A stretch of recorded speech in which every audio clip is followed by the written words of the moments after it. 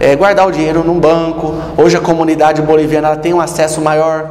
Antigamente tinha muita dificuldade em abrir a conta no banco. Hoje não, hoje já tem parcerias, tem a bancarização da caixa. Então isso facilita né, o boliviano fazer uma conta poupança aqui ou enviar o dinheiro para parentes no, na Bolívia. Jamais ostentar dinheiro, sempre ter um cartão de banco, né, quando for sair, ou um talão de cheque, evitar ostentar muito dinheiro. Né?